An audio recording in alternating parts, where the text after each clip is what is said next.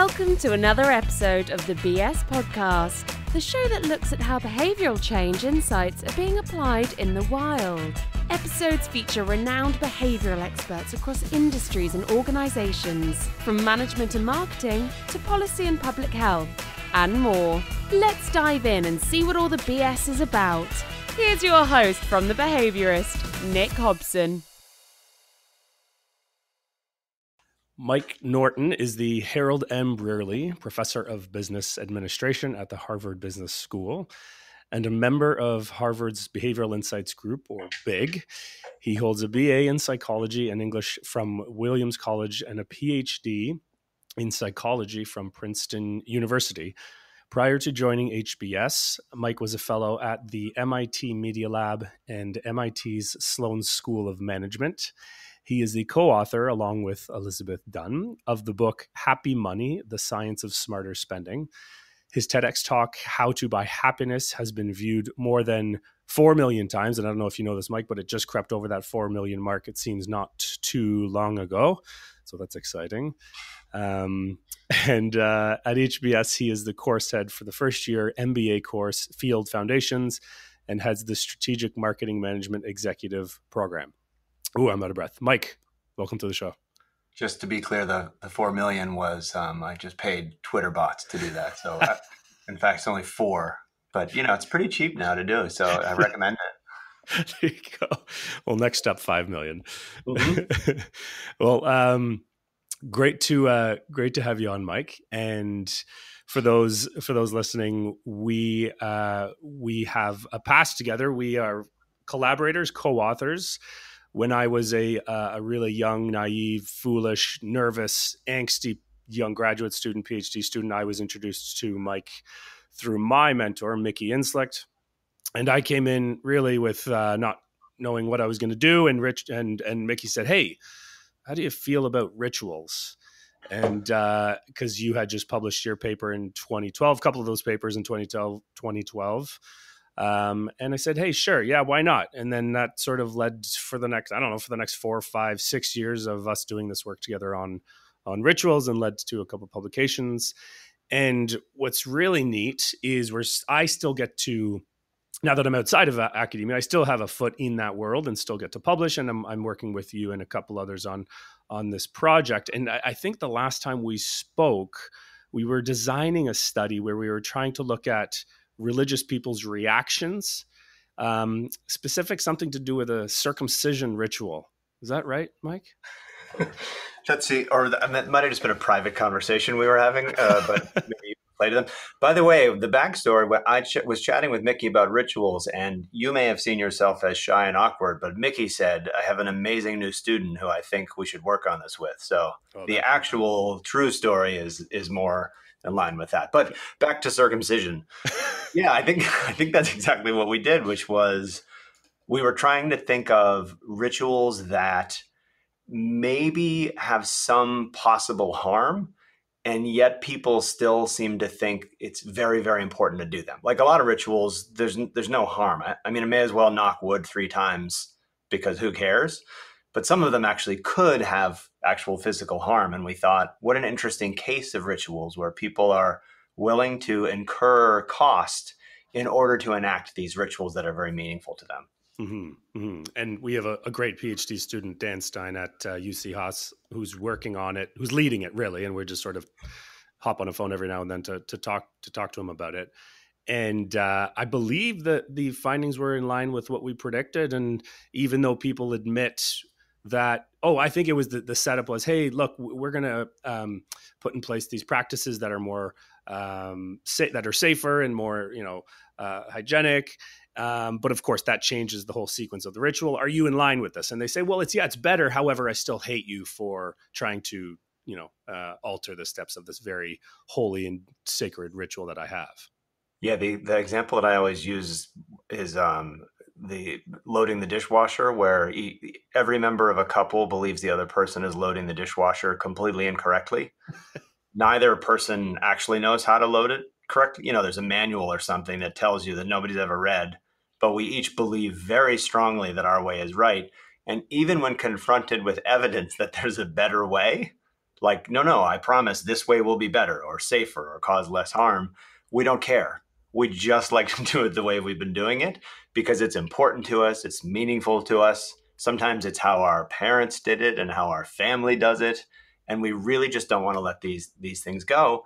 And you could see it as irrational I, I guess or you could see it as this is really important to people like it's a it's a big part of their identity it's a big part of their life and in some cases history. Why would we tell them to change when it's so important to them? Mm-hmm. yeah. Well i think you've been peering in on my uh my marriage because i think we my wife and i get in an argument about uh, loading the dishwasher all every week and uh, it's it's something that we can't give up. We keep fighting about it, so I think that's something for something to be said right there. I'm going to um, say some research I've been doing that is one of those projects where people say, "I can't believe that anybody's paying that guy to do that." But I'm going to yeah, say anyway, which is we've literally interviewed couples about the dishwasher in particular, and the it is it's it's crazy eh, the number of couples that truly will say he does it wrong, she does it wrong, whatever and uh, the typical biggest argument for whatever reason is do the bowls go on the top shelf, top rack, or on the bottom rack? Bowls on the top. That's that's blasphemy. That's yeah, absolute blasphemy. Exactly. It's like a divide in the world, you know, between top top rack and bottom rack people. Uh, you can't predict it. You know, it's not like men, women, sexual orientation, religion. Nothing seems to predict mm. what where you do it. But once you do it that way, you just can't imagine what kind of a fool would put the bowls on the top rack. I feel like that should be some sort of like pre-screening survey on the dating apps. I think it would be how tall are you? Let's match on height, and let's also maybe match on dishwasher. Yeah, it's probably all we need. Are you a top bowl or a bottom bowl kind of thing? You know. um, so now my my job is to take. You say like, and I do miss asking these sorts of questions in the in the type of research that that you know academics get to do. But so my job is now, how do I go to my clients? and leverage the insights of the circumcision ritual to make it useful for them in their business. So that's the uh, that's the next challenge for me. Yeah, it's interesting with rituals because the word itself it conjures up kind of um, religious rituals number one and also sort of large communal very established you know thousand year old rituals. And so when you say the word in conversation, people are instantly, of course, thinking of those sorts of things, which then makes it strange to say, uh, and this can be relevant in your everyday life because people are wondering how. Mm-hmm. But but the the work that we've done with all of our collaborators, you know, suggests that rituals can be really local. They can be private to even one individual. Uh, they can be completely made up uh, in a sense or new for a person and yet pretty quickly come to have a lot of meaning. And we know that because we've we've all done it in our lives. Like we've all uh, worn socks or something, and then our team won, and then we wear those socks forever. Like we just needed one instance of socks being associated with team winning, mm-hmm. and then the rest of our life we wear the socks. And we know it from any team we've been on, where before we start, we do a thing that's different from every other team. And it's not like in an ancient text, it's something the coach made up Mm-hmm. And yet it's our ritual right away, and the other team has a stupid ritual, and it's going to help us win. So they're really actually much more flexible, I think, than we typically think. And that, I think that includes you and me, because I think we thought at first we were studying these ancient practices, and we learned over time, actually, no, that we can actually instantiate them in people like right now if we wanted to. Yeah, and that's you know to the chagrin of of probably the anthropologists in the room who who think that they are, you know, we should reserve the word the term ritual for these big big behaviors, you know, ritual with a capital R. But I think, you know, as us as psychologists and behavioral scientists who are more of the mindset that it's, it is, it, there's a common underlying psychology that leads to, you know, the, the rituals with a capital R in religion and culture that have, you know, these ancient practices. But it's the same psychology with these like more ritual with the lowercase r, the ritual like behaviors that we see everywhere and and anywhere humans are humans and I, I, go into you know and i actually bring this to, to, clients and it's part of the work that i do um, and they go hmm rituals and they're like i don't really see it and so now it's my job to go in and do like say like a lunch and learn or a, a workshop session and, and convince them that it is in fact and then you know if i've done a good job of that of, of, of, of talking to them in this discussion they come out on the other side going wow, yeah, I didn't think like I do do these things, or my customers probably do these things, and we should understand what those behaviors are so that we can sort of track them and understand the buying decisions that are happening. And that's for me, you know, I love obviously my biases. I love rituals. I think they're so fascinating. I think it's a window into human human behavior and human consciousness. Um, and I think it's you know our job now to to show that to others, to show that to people who, who you know, the non-science people and, and the, the folks in, in organizations and consumer behavior. Yeah, one of the ways that I um, have have tried to sort of translate what what we mean by rituals is to ask people. Kind of a silly question, but I think it's it's helpful. Is to because most people say I don't do I don't have any rituals. You know, mm-hmm. that's not for me. But uh, super simple question. In in the morning when you're getting ready, do you brush your teeth and then shower, or do you shower and then brush your teeth? Which one? Me. Well, let me think yeah. now. I definitely brush teeth at the very last. That's the last thing I do, and the reason is because coffee or orange juice, but mostly coffee with like mint aftertaste is just disgusting. So it has yeah. to be the last thing I do. That's my rationale. Yeah. So here's what's crazy is that, it, and I'm not exaggerating, uh, asking this, ask it in any audience in the world, and it's almost always exactly 50 50. Really? So, and half of people brush and then shower, and half shower and then brush. Your argument is the classic one for your your order. the brush then shower one is I don't want to take a shower with gross morning breath which totally makes sense too. Right? I mean, that's not wrong either. Yeah. So yeah. you have this thing that you do kind of every morning, forever, mm. and uh, it for many people it matters. So the second question I ask is, okay, so now in your head, imagine I made you do it in the other order tomorrow morning. Mm-hmm. Does it bother you, or do you not care at all? I would definitely care, and I, this is me coming across as the uh, uh an extremely logical atheist, rational, cold compute, you know, computed person, and, and and even that would would bother me. Yeah, and and then it kind of um, messes up your day. So yeah. often I, I, can watch when people simulate it, they kind of like cringe a little bit, you know, like ah, I just don't want. And and if I said why, you know, you really it, it's hard to judge. It's not like you did it a thousand times one way, a thousand times another way. It got the data and decided which one's better. It mm-hmm. just feels like the way that I want to start my day. Is that a ritual like 2,000 years of history? No, of course not. But is it something that actually creates meaning for people and can help them in the terrible thing of having to get ready to go to work that we all have to do? If it helps you a little bit feel a little readier to confront the day, I don't think we would say again that they're being making a bad decision. I think we'd say it's it's kind of nice that they have a little morning ritual that helps them feel a little bit better about uh, getting out the door. Yeah, yeah, and and for me, I again I, I was sort of it was this weird position where I studied them, but I was very opposed to them or having them in my life. Even though I would have these little thing like little quirks, let's say, and idiosyncratic behaviors like that.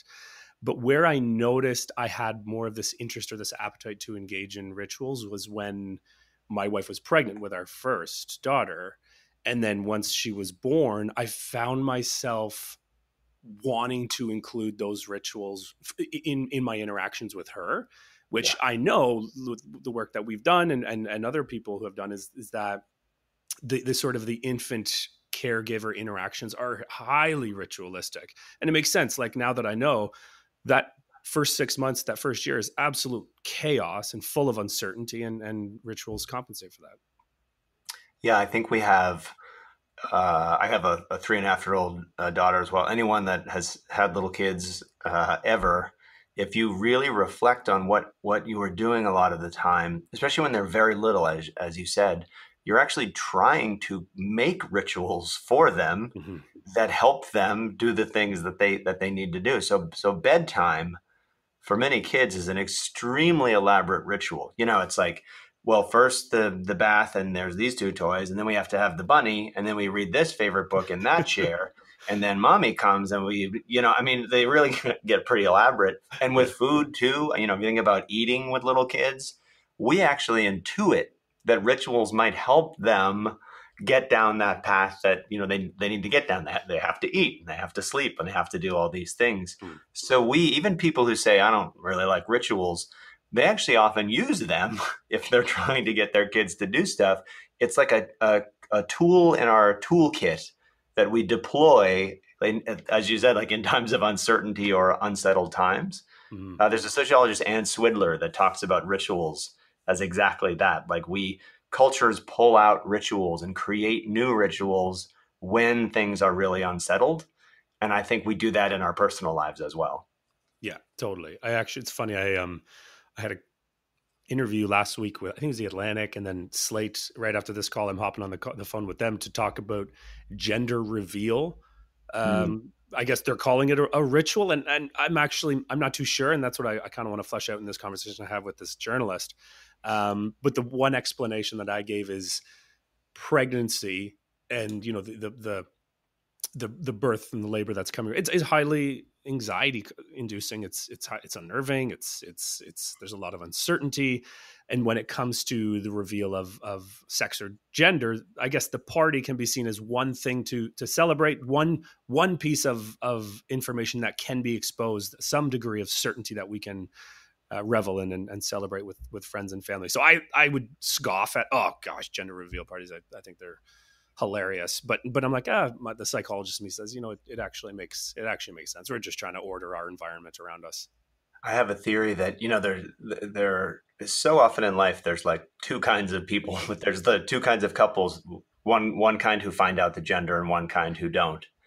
and couples who want to find out the gender typically think the other people are insane.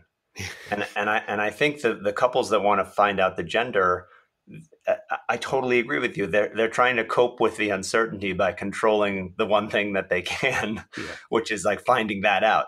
There's not much else you can do, you know, at that point to control things. And so that's why when other people don't do it, those kinds of people say they're crazy. Then the other people say, "Well, we we want it to be a surprise." And it's like it's not really a surprise because it's kind of like a 50 like a coin flip yeah. Atlanta heads or tails. It's not surprising, really, in particular, but they're trying to do something else to manage it, right? They're trying to to keep control of that uh, and not let it go as a way, I think, to cope with just how uncertain and stressful it can be. Yeah, absolutely. And and you know, again, it makes it makes total total sense that these behaviors are exhibited in that in that moment and in that time.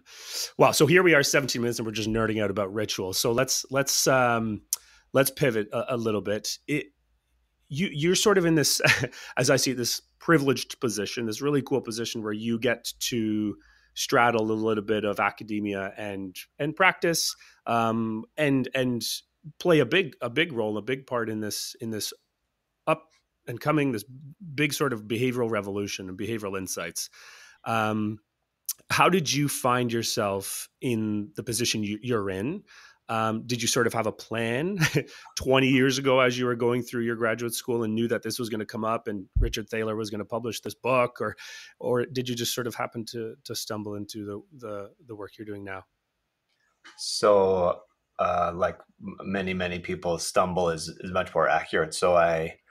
Um, uh, in college, my um, randomly assigned freshman year roommate uh, who became one of my best friends, was um, smarter than me and had a, a, much better sense of what to do with his life. And so he applied to graduate school in social psychology.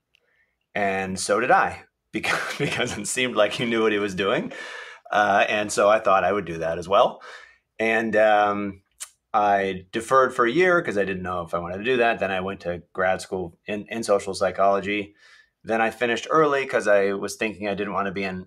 Finished early is not a humble brag. I, I finished early because I wanted to leave, and my dissertation is not very good as a result. So I didn't mean that as I'm amazing. Uh, they were nice to let me finish early.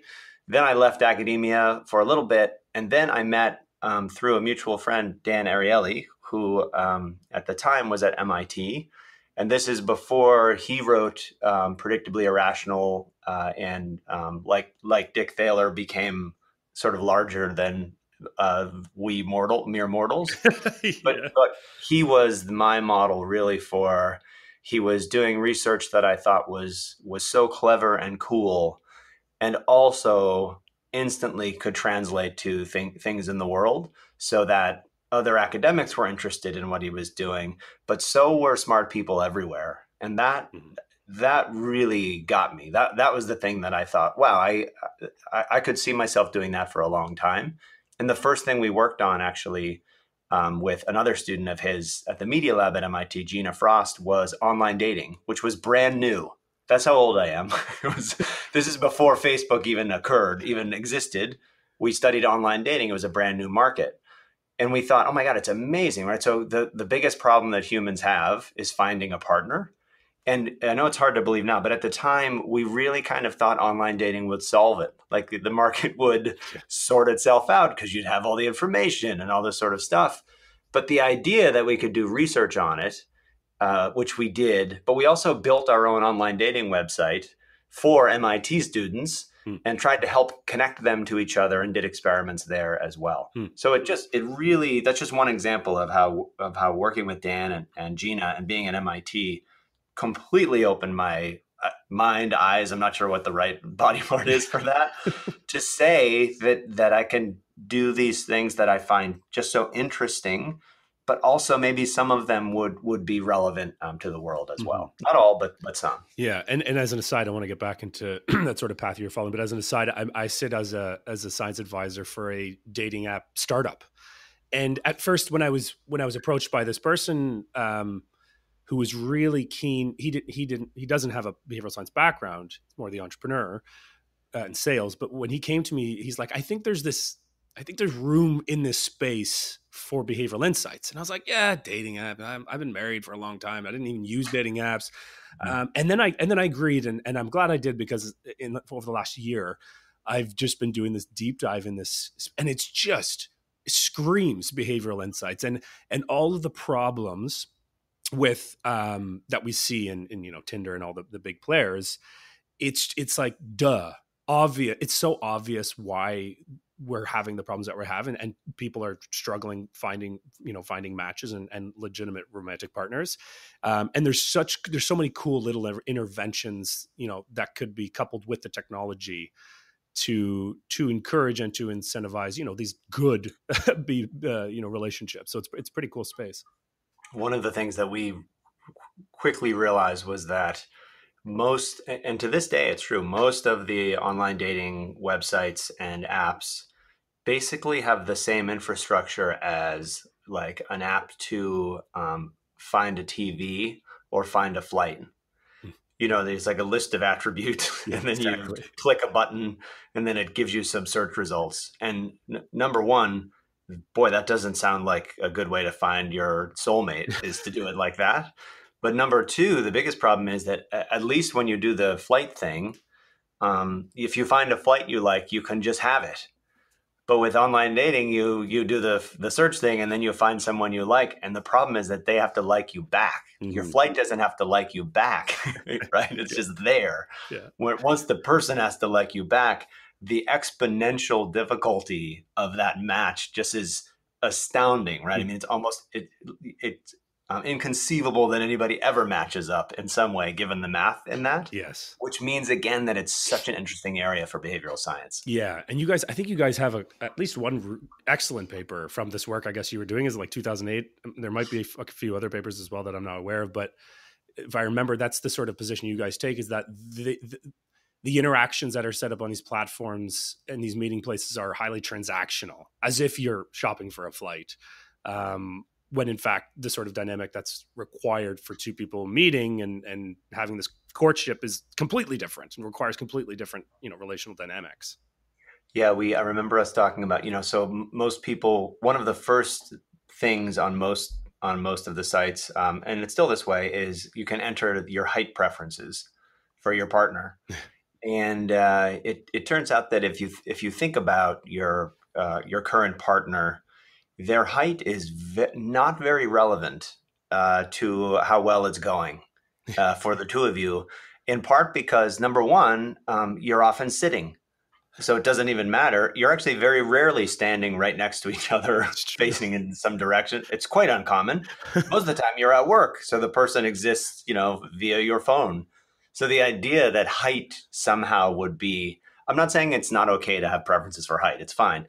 But the idea that that would be a central attribute, yeah. given how little a role it plays in an actual relationship, shows you that the interfaces can be problematic. Yeah, yeah, exactly. And that's that's where now that I've been doing it for a year, I'm like, holy, this is this is just so ripe for for behavioral insights. Um, excellent. So then you got into that um, with with Dan, and that sort of sold you on. It opened up your whatever body part, as you said.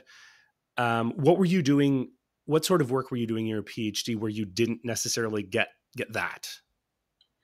Um, the the the thing that I was working on um, uh, uh, mainly as a PhD student was um, the ways that people try to uh, justify and rationalize their their questionable behavior, um, which I I still find uh, very interesting. So we were we were looking in part at uh, how people can make biased decisions, like hiring women instead of men and yet really feel like their decision had nothing to do with gender at all. Mm. And I mean, sometimes people are lying about being biased, and, and that's fascinating and a problem as well. My particular interest was the, the many, many people who are behaving in this way, uh, and we can see it from the outside, but their genuine experience is no, I, I just hired that guy because he's better it had nothing to do with his gender, mm. even though we can do the research to show it had a lot to do with his gender. Mm. That kind of um, self deception, uh, which is what we ended up thinking we were studying, still is quite interesting to me because it happens all the time. Anytime you're doing something that's a little questionable, you can hear in your head these crazy voices that are like, "Oh, it's fine," or like, "Oh, well, everyone's doing it." Literally, they you can hear them in your head when you're struggling with these things. Mm-hmm. Where do those come from, and why do we listen to them? And how does that help us walk around feeling like we're super nice people, even when we sometimes do not so nice things? Mm. Well, that that that in itself has quite an applied bent to it as as well. Yeah, we that one we've gone. There, there's a little bit of research on um, trying to um, help organizations decrease kind of employee theft and cheating and things like that. Mm-hmm. And they're knowing a bit about that internal psychology can be helpful. You can sort of cut people off from some of those excuses. Um, but at the same time, getting people to be, you know, to not steal, often the best thing to do is like put cameras in. So there's, you know, there's there's nudges and behavioral interventions and things, and then there's other things that are just like now it's impossible to steal. And those turn out to be pretty effective too. Yeah yeah. Okay so you you're in this position um, and in around you know 2010 2008 2010 these books are published. Uh, I believe Harvard's Behavioral Insights Group is established shortly thereafter in collaboration with BIT UK and the first sort of uh, so called nudge unit. Um, were you surprised to see this growth over the last decade of this field? And again, I, am curious to get your perspective as an academic, because a lot of the people you know I've spoken with and will be speaking to on the show are on the other side of the fence. So, are you seeing it through um, through a similar lens, or what? What do you make of the this this so-called behavioral revolution? I think that um, the the key the key starting points for, the whole thing were were two two books. I think actually one was uh, directly uh, Malcolm Gladwell's um, first big book, The Tipping Point. Hmm. Uh, and the other was um, in a in a less direct way at first, uh, Michael Lewis's Moneyball. Mm-hmm. So Gladwell, um, I guess a lot of social scientists feel like have mixed feelings about about him. I've always said that all of us should sort of um, donate a portion of our earnings to him because he he um, really uh, was able to um, articulate in such a compelling and intelligent way uh, a lot of the interesting findings from social psychology and from psychology um, in general. We, as social scientists, knew them, but were completely unable. I shouldn't say completely. We were often unable to translate them in a way that um, made sense to people and was useful to them. Mm-hmm. So, so there with, and then then an explosion of books like that that were kind of translating behavioral work into the real world. And then at the same time, Michael Lewis, you know, with Moneyball, part of a, a real shift in organizations in general in um, using data uh, stop stopping relying on intuition mm-hmm. you know well we know who to hire and we know what customers like and etc and starting to actually say you know what we need to use our intuition to make decisions for sure but but why don't we collect the data? Why don't we decide what data to collect? Why don't we collect it? Why don't we analyze it? And why don't we use that to inform our decisions? Mm-hmm. and once you're there it's a very close step to say what kind of data should we collect and if you have humans as your uh, stakeholders, you probably want to collect psychological and behavioral data. And so that also, those two streams together, I think really led to an interest in it. And then, you know, um, Danny Kahneman winning a Nobel um, for his uh, work with Amos Tversky. And then a little after that, Dick Thaler winning um, his, his, Nobel as well for all of his work. That that's just the um, uh, the snowballing effect in, in a sense that um, has con- I think continued to this day. I guess it'll crest. Snowballs don't crest, but you know what I mean. Yeah. It will peter out uh, at some point, but we're not. We're certainly not there yet. A lot of organizations are really interested in how they can think about using behavioral science as they define it to help them make better decisions. Totally.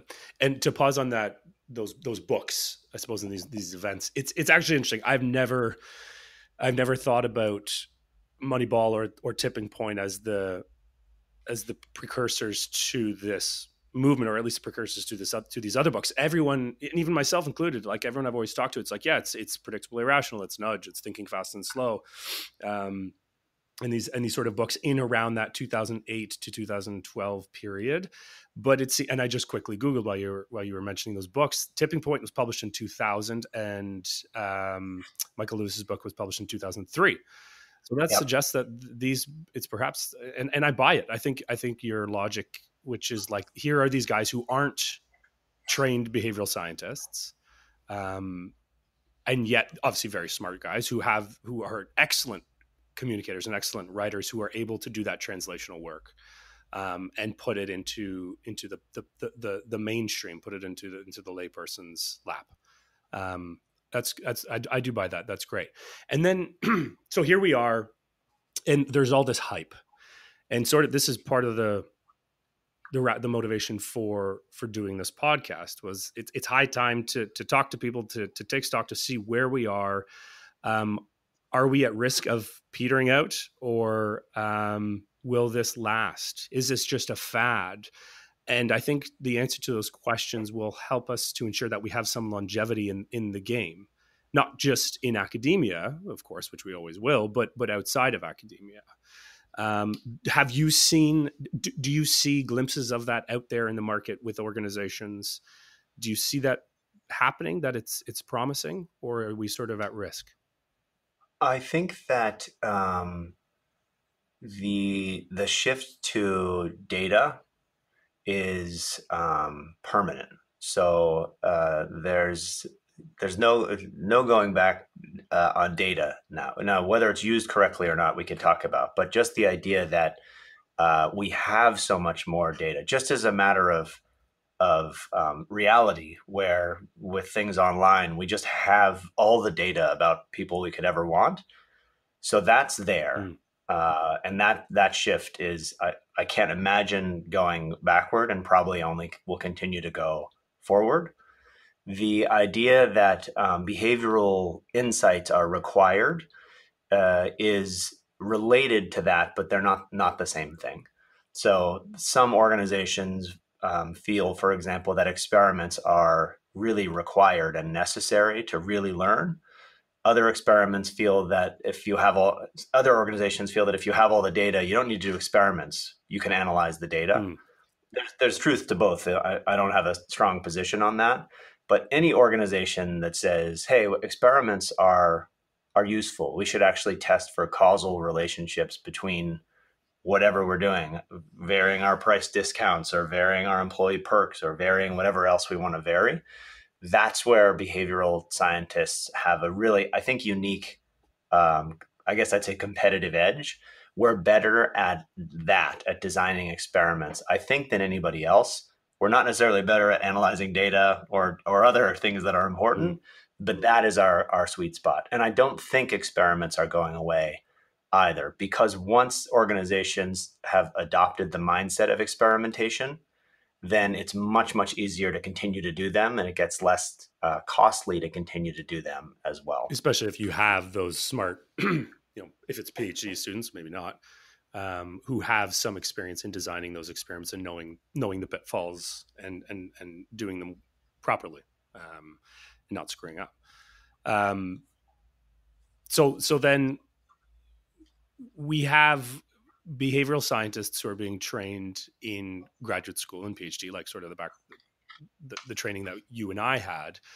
Do you see that as still necessary to to bring these people into organizations, or can we just can we bypass the five six plus years and get these people right out of undergrad, maybe masters, um, and get them right into industry, designing real world experiments? And save them a lot of time, save them a lot of money without without having to do the PhD. I think that, um, at least in my experience, most organizations that have have worked have have tried to do experiments and have tried to integrate academics, people with academic training, uh, find in moments of candor, I think they would say they find me and all of us um, frustratingly ignorant, probably but um, with some unique lens on things. And so we're we're often we don't get it, you know, in a sense we don't we don't get the full picture of what an organization is trying to accomplish. Uh, often, not always, but often. But we do get humans, mm. and I and I do think that um, anyone can learn how to do an experiment. You know, you just change the color from red to blue, and randomly assign people to look at it. There's your experiment but deciding what to test is actually where the insight really, really comes from. And that's something that I don't, I don't know if you need a PhD in X or Y, but you need to have been trained, I think, for a long time in seeing the world like that. Mm-hmm. I don't know if it's osmosis or what, but you you know and you've seen that that the very best behavioral scientists, you know, yeah, I'm sure they're great at designing experiments, but even in conversation, they have a different lens into people than than other folks. It's not the best or only lens, but it's a very unique lens. And I do think for most things there has to be some immersion with people who do that so that you can sort of pick it up from them and carry it forward yourself. Mm-hmm. Mm-hmm. And you have a, a, a recent paper, I believe it was just published with a couple other co-authors, um, and it's extending this idea of of nudging, not just what we, which we all know, um, but you guys you guys call it budging budging beliefs. Is that correct? Mm-hmm. What do you think? What was the what was the inspiration for that paper? Um, do you think nudging has gotten us to this point, and now we need to begin to look at more mechanistic explanations of of how we do behavior change? Um, and do you think sort of the nudging part has has fallen a bit, a bit short? Anyways, what's the inspiration for the for that that paper, which is a great paper, by the way? The um, so this is a, um, a, the idea for the paper and, and the terminology were um, my former postdoc Oliver Hauser to give um, full credit. I think the idea was one of the ideas came from this interesting fact. So I reviewed a paper that was a failed replication of a study trying to show that um, social norms would change people's uh, environmental behavior. This is a, a, fantastic paper by Noah Goldstein uh, and Bob Cialdini from a few years ago. If you tell people, hey, 75% of people reuse their towel uh, in you, you put signs in hotel bathrooms, hey, did you know that everyone reuses their towels? More people are likely to reuse their towels and not get it washed, and it's good for the environment. Uh, the replication um, failed. So they didn't show any effect of social norms if you look at the paper, actually, what happened is uh, now I forget what country it was, but the country was like Denmark or something like that. Germany. Could be Germany. Yeah, you might be right. Where the the rate of towel reuse was already incredibly high. So Noah and and Bob were doing an experiment in a place where the rate was extremely low of towel reuse, and the replication occurred in an environment where the rate was extremely high. Now, to say that social norms change behavior, Um, that's not true. It depends on what the current social norm is. And, and so it, it's not really a, a failed replication. It's just not the right intervention for that context. So if 90% of people, let's say, are already reusing their towels, telling people that 75% of people are reusing them will not increase their mm-hmm. behavior, right? Because they're mm-hmm. already up past past that that percent. And just the idea that um, you know people will say, let's do let's use anchoring or or let's use uh, social norms or let's use this. That's not how humans work, right? So the you can't just apply seven uh, official nudges in any situation and get results. You have to understand what's happening in the situation, which means you have to understand the people in the situation. And that's where you start to get the idea that, like, wait, wait, before we do this, let's actually think about what's going on here. So when we say mechanisms and things like that, all we really mean is what are people up to?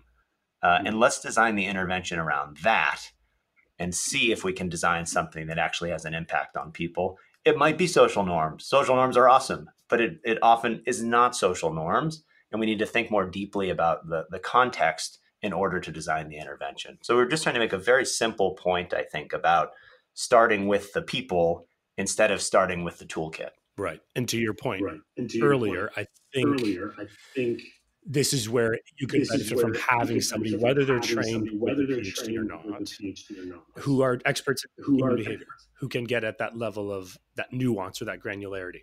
Um, and and that that understanding that there's going to be differences in context, differences in culture, differences in environment. Um, so again, whether that person is trained formally or has that in some through through industry experience, having a team where you have at least a few people or a good number of people who have that level of expertise is it seems to be required. Otherwise, you're just you're grasping at straws, throwing spaghetti at a wall, seeing what sticks, and just running with that, not knowing exactly what's actually happening. That's right. And like all things in life, some people are just naturally brilliant at understanding humans. Like some people are some people are naturally amazing at being salespeople, but but they're hard to find. So you you kind of want to find people who are trained to understand humans or who are trained to sell because they're often going to there's more of them and they're often going to be a huge source of insight uh, for mm-hmm. you. Great a couple more questions if you don't mind. First sure. one, which I asked this to to uh, to a couple others, and, and I believe Michael Sanders uh, said that you would definitely be a rock star. But I'll ask you the question, which is, if you weren't if you weren't uh, doing what you're doing now, what what what do you think you'd be doing? Uh, now I'm tempted to. I want to say something different just to show that Michael was wrong, but no, he is uh, unfortunately uh, correct. My my alternate self would be a, a musician uh, because um, so the, the thing I like most about academia actually is the collaboration. Uh, so I love to work with new people and brainstorm new ideas, and by doing that, you get to know other people's brains, and then you you learn you just learn a lot doing that. And with music is another form where when you're playing in a band or whatever context, the improvisation uh, and and learning and challenging is is not so dissimilar. It's way cooler, but it's not so dissimilar from brainstorming new ideas uh, in groups. And so they have that same element of uh, connection to other people and riffing, literally hmm. uh, off of other people's hmm. ideas. That that for whatever reason, for me, that's my favorite thing to do uh, in the world. And so, if I weren't doing it in academia, I would definitely be if if I were good enough, I would definitely be doing it uh, with music instead. I remember the first time we'd met in person. I had come down for a a big conference workshop day thing, and I came to your office, and this is in the, the hallowed halls of of HBS, and I and and I walk in and and you're I thought you'd be wearing like a tuxedo or something and and, and this marble desk. You were wearing um if I remember, just a, a flannel with shorts and flip flops, and I, I remember a guitar, two guitar amps, or like a guitar in the corner. I was like, oh my god, this is this what academia is like? well, you have to put things in your office to show that you're an interesting person because we're so boring. so you have to scatter things around that imply you're interesting. You know what I mean? So you're compensating. Basically, yeah. okay. So, and last question for you is uh, what I ask all my guests uh, on the show is the uh, the BBB or the Big Behavioral Brainstorm. And uh, of all the problems we're we're currently facing, which seems to be many um, for us human species, where do you see behavioral science or behavioral insights um, being of, of of most use? Um, my um, biased answer, because it's an interest of mine, but uh, I think there's been an incredible amount of amazing research um, on the effects of inequality on all sorts of outcomes, from individuals to companies to cultures to all sorts of things. And it seems to me that it's it's obviously a macro um, issue in the world.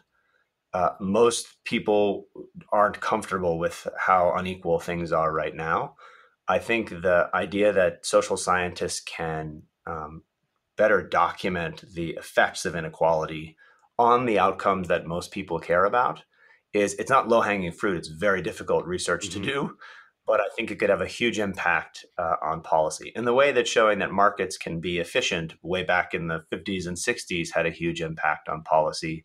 Showing that inequality can have these really negative effects can have a huge impact on policy as well. Mm-hmm. Great. Well, we just uh, came out of our election, our federal election in Canada last night. I saw. Yes, a very uh, sort of a liberal minority, um, but uh, not not too exciting of a, of of, a, of an election. But here we are, and hope hopefully hopefully there's more of that sort of work that's being done, and more of that um, more mandates and budget for that. And, and I know we we now have in the Privy Council in Canada and, and across the different provinces are diff- our different nudge units, um, which is I, I, believe the count now is is over a hundred nudge units in different governments around the world. Um, mm-hmm. So it's important work that needs to be done, uh, and hopefully there's more of us uh, doing that doing that work. So, well, we're at uh, we're over time, I believe, by my count. But uh, Mike, really, uh, really great to chat and catch up and talk all things from circumcision to um, inequality. And uh, th- thanks for coming on. Thanks, Nick, for thinking of me.